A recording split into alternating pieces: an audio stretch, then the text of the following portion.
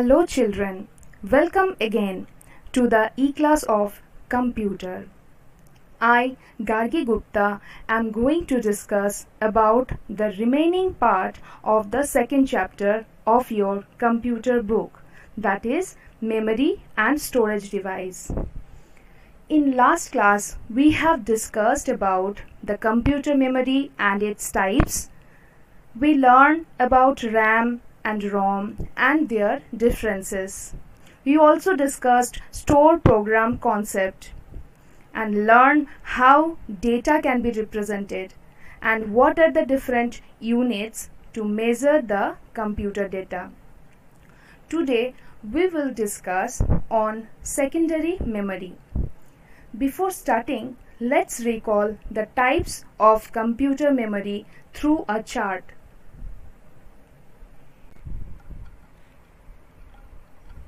Types of computer memory Computer memory can be divided into two types primary memory and secondary memory.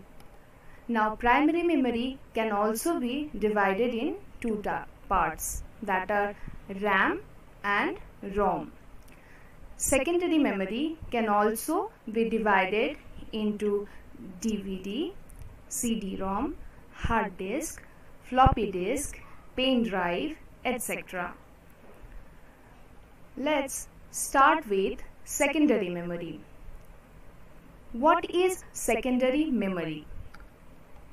Secondary memory is the external memory of the computer. It is also known as auxiliary memory. Secondary memory is used to store data and programs permanently and in much larger amount. The contents of the secondary memory are first transferred to the main memory or primary memory and then the CPU can access it. That means CPU cannot access the secondary memory directly.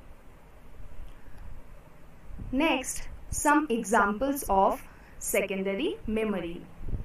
Some common examples of secondary devices are floppy disk, hard disk, CD-ROM, DVD, multimedia card and pen or flash drive. Next, start with floppy disk.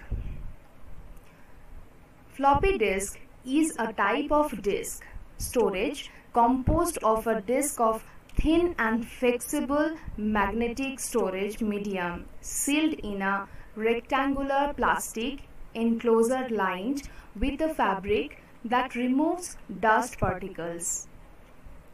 Floppy disk are read and written by a floppy disk driver. Floppy disk is usually 3.5 inches or 5 inches in diameter. Generally, a 3.5 inch floppy disk can store 1.44 megabyte of data. Here we can see a picture of floppy disk.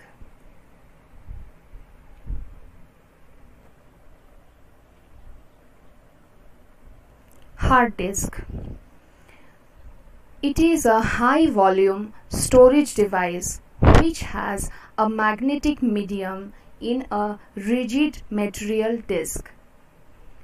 Normally, a non-removable hard disk medium is much faster and can accommodate a much larger quantity of data than another storage device of comparable size.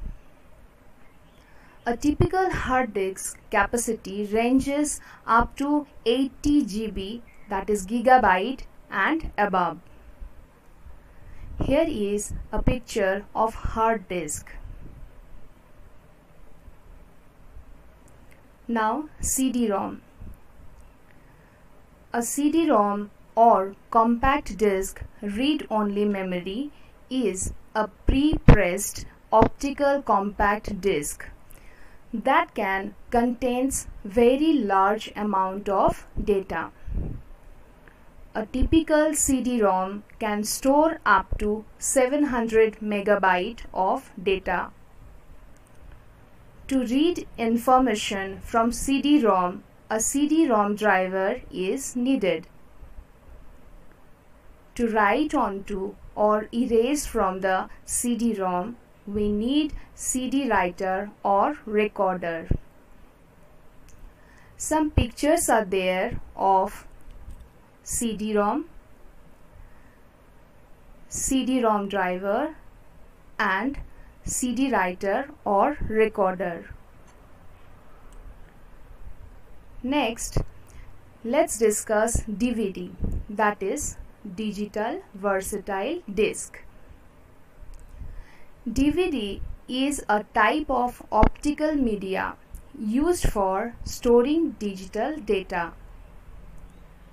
It is the same size as a CD-ROM but can store 25 times more data and has much faster data storage and retrieval than CD-ROM.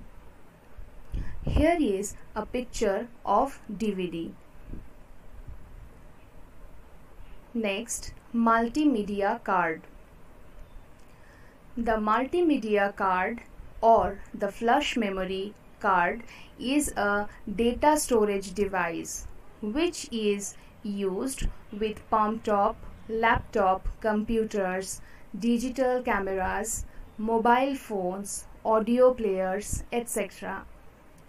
It is the size of a postage stamp and comes in different storage capacities. Here is the picture of a multimedia card.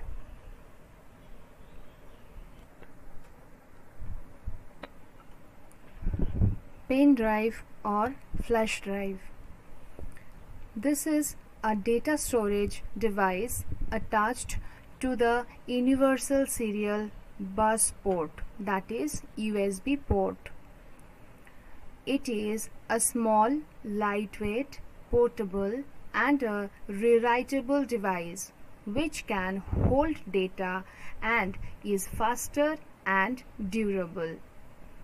Here is a picture of pen drive. Now let's discuss difference between primary memory and secondary memory. It is very important. Number 1. Primary memory is also known as main memory, whereas the secondary memory is known as auxiliary memory. The second point is basically it the primary memory is the internal memory of the computer whereas secondary memory is the external memory of the computer.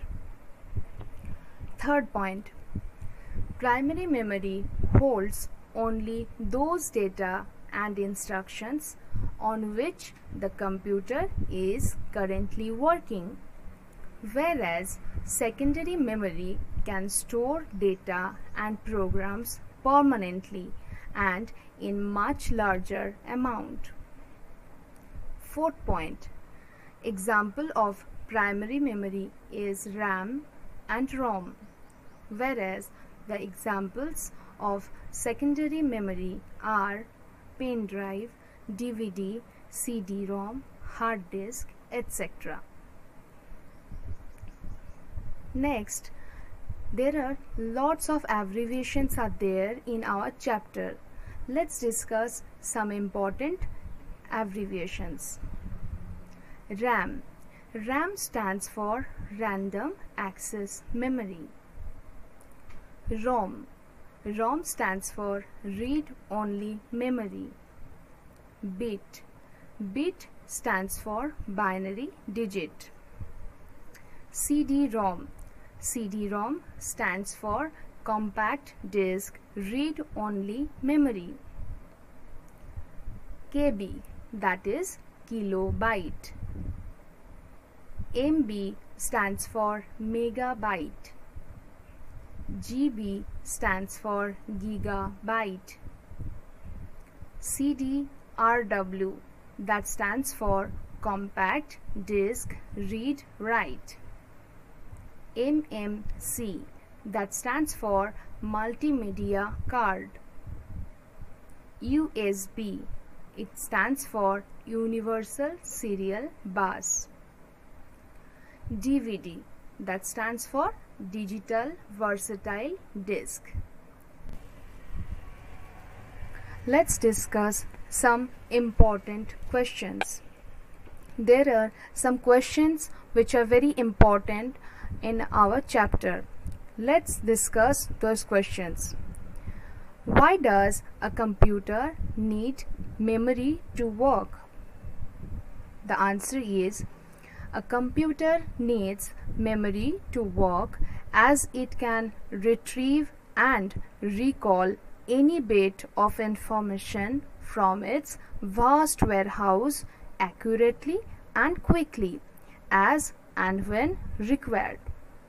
Now, the next question is what is ROM? What does it stores? The answer is ROM stands for read-only memory. It allows only reading of information in it and no information can be written onto it by the user. Next answer is ROM usually stores permanent programs and related instructions which the computer needs to carry out for executing user programs. Next question is what is a bit? What do 0 and 1 signify? The answer is the basic unit or you can say the smallest unit of data storage is a bit that is binary digit. A computer only responds to two signals. Here, one signifies the presence of small electric current and 0 signifies the absence of small electric current. Now, the next question is, how is a DVD more advantageous than a CD-ROM?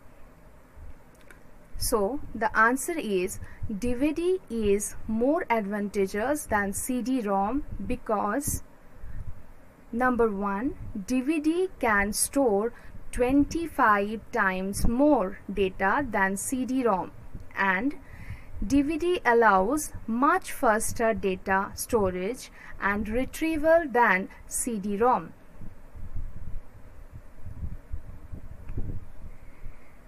That's all for today children. But before finishing this session, let's recall what we have learned today.